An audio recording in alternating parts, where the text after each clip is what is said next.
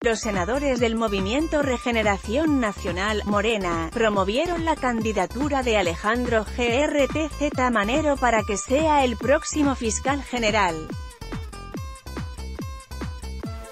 Alejandro GRTZ, quien actualmente es el encargado de despacho de la Procuraduría General de la República, PGR, podría ser incluido en la terna considerada por el presidente Andrés Manuel López Obrador, AMLO, en la cual también incluirá a Bernardo Baiz.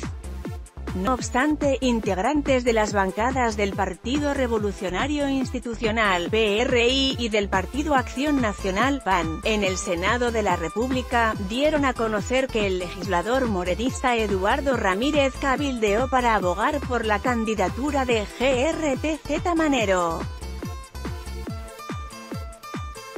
En su oportunidad, el senador panista Damián Cepeda refirió que la valoración sobre la lista de los 10 perfiles para fiscal general no será acompañada si en ella se incluyen a personas elegidas por AMLO.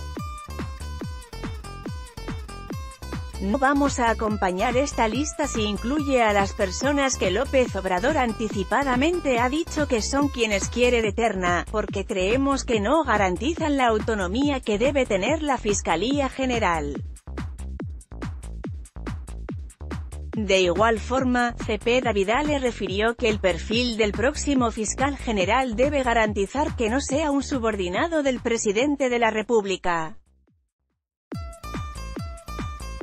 A finales del mes de diciembre, el presidente de la Junta de Coordinación Política, UCOPO, del Senado, Ricardo Montreal, aseguró que la Cámara Alta podría tener sesiones extraordinarias este mes con el objetivo de continuar con la designación del próximo fiscal general.